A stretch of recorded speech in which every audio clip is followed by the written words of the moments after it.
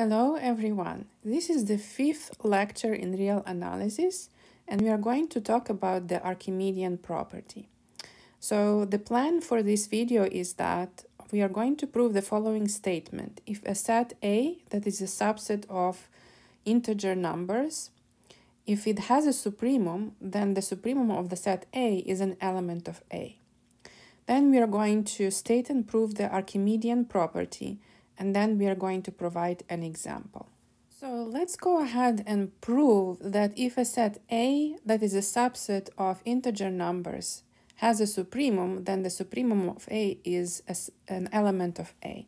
So just to illustrate what this theorem says, suppose we have a set A that is a subset of integers, right? So it's gonna be a set of some points. Okay, so if the set A has a supremum, then the supremum of A is actually going to be an element of A and it's going to be an integer number. So from the picture it's kind of obvious, however we need to prove this. So let A be a subset of integer numbers, so A is a subset of Z, uh, and let it be such a set that it has a supremum A that is a real number. So if the set A is bounded from above, then by the completeness axiom, supremum of A exists uh, as a real number, right? So uh, what we want to show is that the number alpha that is the supremum of A is an element of A, right? It's a real number, but we want to show that it's actually in the set A. So let us look at this set A over here that consists of all of these points. And we have a number alpha. So by the epsilon criterion for supremum, if we look at the number alpha minus epsilon, uh, then uh, there exists an x in A such that x is larger than alpha minus epsilon. So this is um, the by the epsilon criterion for supremum and this criterion is explained in another video and I linked that video in the description to this video. So in case you want to refresh your memory, you can watch this other video. But um, uh, just in case you forgot, uh, what it means is that if we look at this interval over here, there is going to be an, an x in A such that x is larger than alpha minus epsilon. So, um, okay, so let us choose epsilon equals to 1. So let us choose epsilon equals to 1. And by the way, all of this right here, this is scratch. This is just to help us uh, in, to understand the strategy for the proof, scratch. So in the clean proof, we can write that by the epsilon criterion for supremum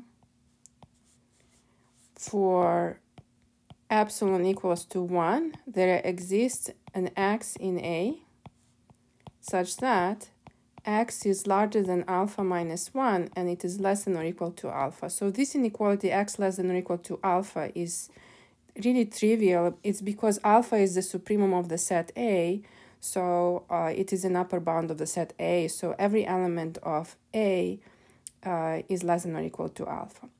Okay, so we have an element x. So let's come back to this picture here. So let's, instead of alpha, uh, epsilon, let us say that we have 1. So we have here alpha minus 1. So there exists an x in A such that x is in between alpha minus 1 and alpha. Okay, so from the picture, it's kind of clear that the only x that can exist in here because is, is actually x is equal to alpha. We must have x is equal to alpha because the set A is the set of uh, integer numbers uh, so there is going to be nothing in between alpha minus 1 and alpha that is an integer number. So it has to be alpha. So this is our strategy. So strategy, show that x is equal to alpha. uh, so x is an element of A. So if we show that, then we are going to show that alpha is in A. Okay, so uh, let us come back to the clean proof. So here we have that x is in between alpha minus 1 and alpha. So case 1, x is equal to alpha.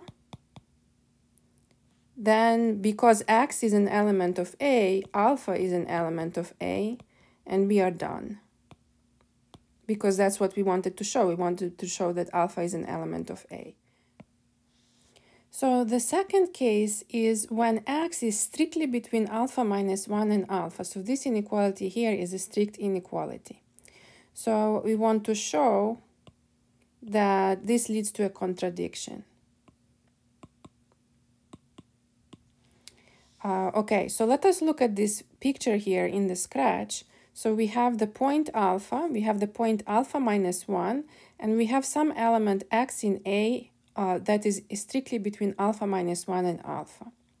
So we want to show some kind of a contradiction. Uh, so let us look at, by the epsilon criterion for supremum, there exists a point y in A such that y is strictly between x and alpha. Well, y could be alpha, but then we would be done. So by the epsilon criterion for supremum, there exists a point y in A such that y is between x and it is less than or equal to alpha. So of course, if y is equal to alpha, then alpha is in A and we are done. So suppose that y is strictly between x and alpha. So now let us look at the picture again. So let us look at this segment over here from alpha minus 1 to alpha. The length of this segment is equal to 1, agree? Now let us look at this segment over here from x to y. So the length of this segment is smaller than the length of the segment from alpha minus 1 to alpha. So we have that y minus x is strictly between 0 and 1. And you can verify using these inequalities. Uh, so y is larger than x, and x is in between alpha minus 1 and alpha. You can derive um, just by using the inequalities that y minus x is strictly between 0 and 1. But y is in a, so it's an, in, it's an integer and x is in a, which is an integer. So y minus x is a difference of two integers, so it is an integer. So we have that y minus x is strictly between 0 and 1, but at the same time it's an integer. So y minus x is an integer and y minus x is in the, in the interval 0, 1. But this interval 0, 1, it does not contain any integers. So that's a contradiction. And so this is what we wanted to show. We wanted to show a contradiction and we did. So that's the end of the proof, QED. So let us now prove the Archimedean property, but before we prove it, let us discuss it. So Archimedean property states that for every epsilon greater than 0, for every real number m, there exists a natural number n such that n epsilon is larger than m. So of course, if the number m is negative, then there is nothing to show here because n epsilon is always greater than or equal to 0. So the only interesting uh, statement here is that when m is positive. Uh, However, we state this property uh, for where m can be a real number just so that we have a more general statement. So let's try to understand this. So let's have this situation where the length of this segment is m. So the length of this segment is equal to m. And suppose epsilon is a small number. So let's just say that the length of this segment over here is epsilon. So what this property states is that we can repeat this small segment enough times in such a way that we will cover the larger segment, right? So we can repeat this, this smaller segment n times. So the length of this segment here will is going to be n epsilon.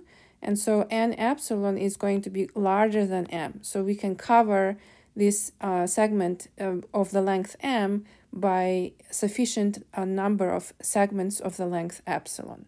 So before we prove the Archimedean property, let us discuss the negation of the Archimedean property.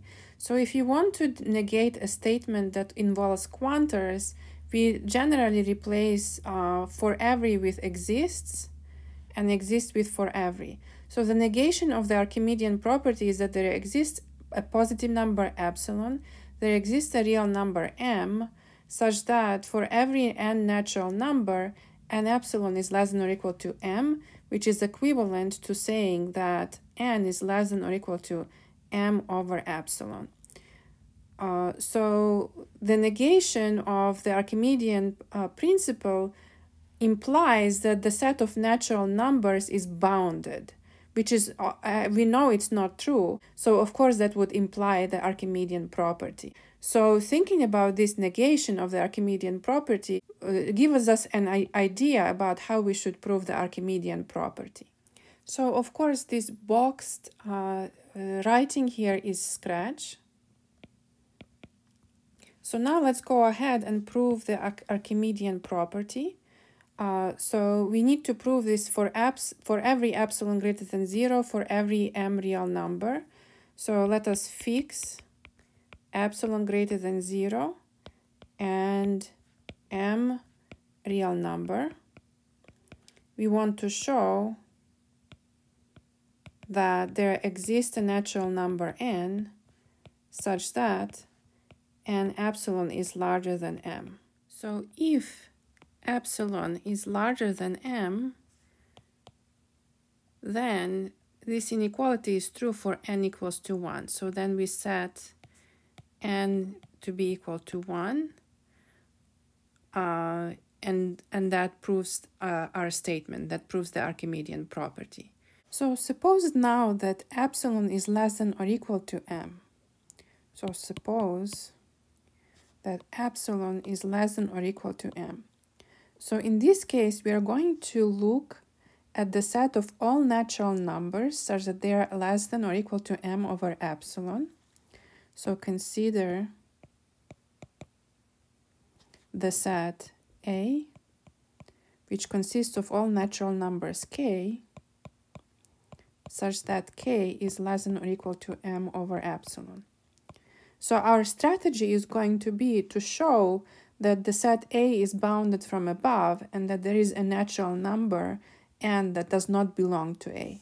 So our strategy we are going to show that there exists natural number n such that n is not in A. But what does it mean that n is not in A? That is, n is larger than m over epsilon, which is equivalent to saying that n epsilon is larger than m. So showing that n is not an element of A is the same as showing that n epsilon is greater than m, and this is exactly what we are looking for. All right, so this is what we want to show. Um, so let us look again at the set A. So the set A is not empty because the number 1 is in A. And indeed, 1 is less than or equal to m over epsilon, and this is because epsilon is less than or equal to m. So also A is bounded from above by the number m over epsilon. Also, the set A is bounded from above by m over epsilon. So we have the situation where the set A is, consists of uh, natural numbers, so they are equally spaced, and then uh, it's bounded from above by m over epsilon. Uh, so then by the completeness axiom of real numbers, it has a supremum. And then by the previous theorem, the supremum is actually an element of A. So the supremum of the set A is an element of A. So by the completeness axiom,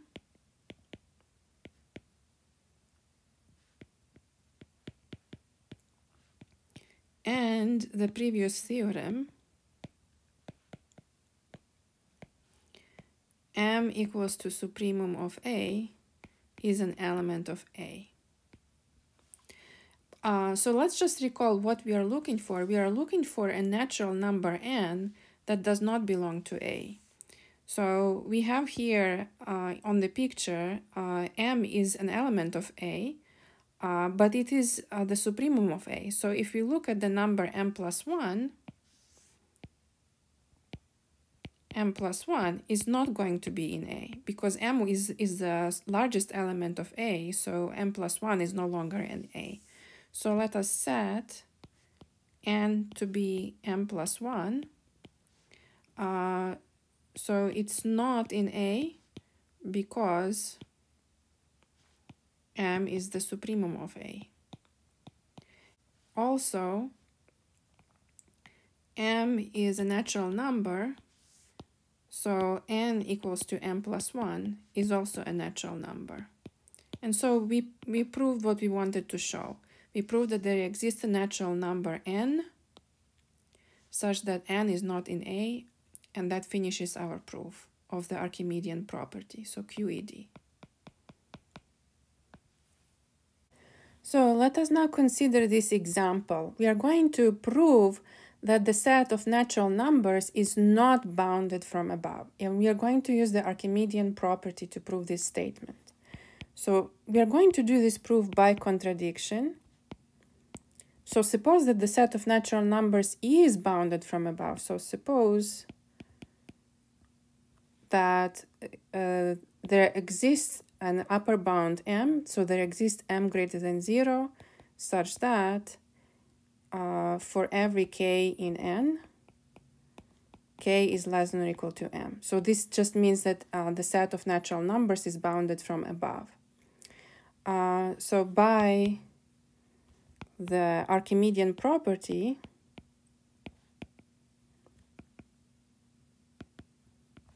there exists a natural number n such that n is larger than m. Uh, but uh, m is an upper bound for the set uh, of natural numbers, so that's a contradiction, right? But m is an upper bound for n, so we must have n less than or equal to m. So these two statements uh, provide us a contradiction and QED. So the set of all natural numbers is not bounded from above. So this is all for this video. Thank you for watching it. Please put a like underneath it. Please subscribe to this channel, support this work, uh, leave some comments below about what you would like to be featured in this channel and uh, see you in the subsequent videos and be good at math.